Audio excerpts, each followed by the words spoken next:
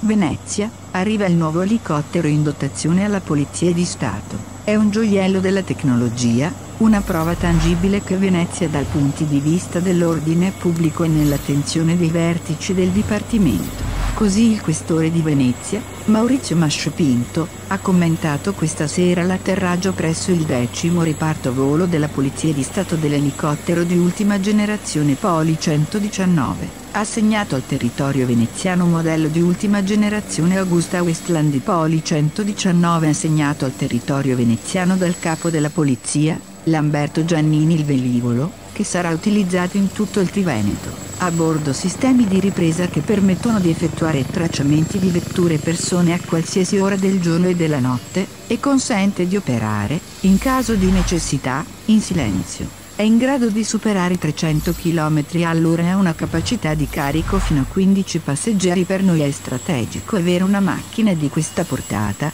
ha aggiunto il questore di Venezia dottor Maurizio Masciopinto perché ce l'abbiamo in loco. Mentre prima dovevamo lavorare solo su situazioni programmate, ora siamo pronti a intervenire anche in caso di emergenza.